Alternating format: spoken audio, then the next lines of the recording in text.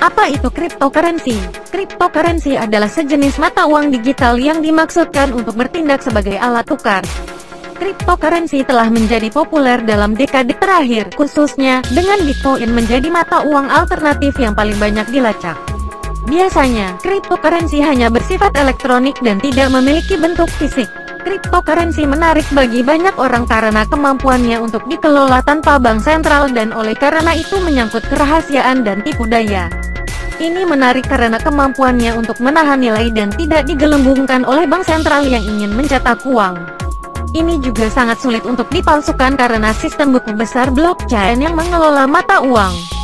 Bagaimana cryptocurrency bekerja? Cryptocurrency diproduksi, dilacak, dan dikelola melalui apa yang disebut buku besar terdistribusi seperti blockchain. Dalam buku besar terdistribusi, pergerakan mata uang diproses oleh komputer dalam jaringan yang terdesentralisasi, untuk memastikan integritas data keuangan dan kepemilikan mata uang kripto. Anggap saja seperti tanda terima raksasa yang tidak pernah berakhir dari semua transaksi sistem yang terus diverifikasi oleh semua orang yang dapat melihat tanda terima. Sistem desentralisasi ini tipikal dari banyak cryptocurrency yang menghindari otoritas pusat.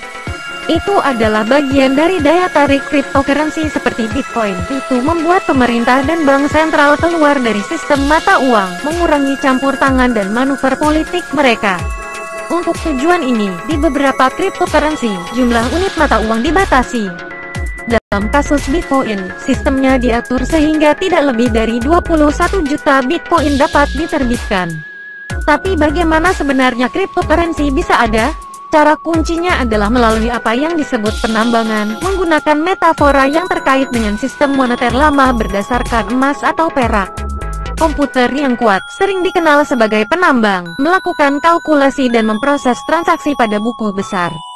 Dengan melakukan itu, mereka mendapatkan satu unit mata uang atau setidaknya sebagian dari satu unit. Ini membutuhkan banyak daya pemrosesan yang mahal dan sering kali banyak listrik untuk melakukan perhitungan ini. Pemilik mata uang dapat menyimpannya di dompet cryptocurrency, aplikasi komputer yang memungkinkan mereka untuk membelanjakan atau menerima mata uang tersebut. Untuk melakukan transaksi, pengguna memerlukan kunci yang memungkinkan mereka untuk menulis di buku besar umum, mencatat transfer uang. Kunci ini mungkin terkait dengan orang tertentu, tetapi nama orang itu tidak langsung terkait dengan transaksi. Secara harfiah tidak ada batasan jumlah cryptocurrency yang dapat dibuat.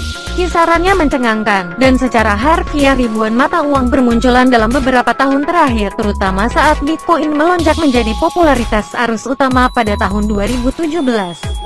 Beberapa kripto paling populer termasuk Bitcoin, Litecoin, Ethereum, Ripple, dan Tether. Bahkan Facebook telah mencoba masuk ke dalam permainan cryptocurrency dengan mendirikan konsorsium mitra industri.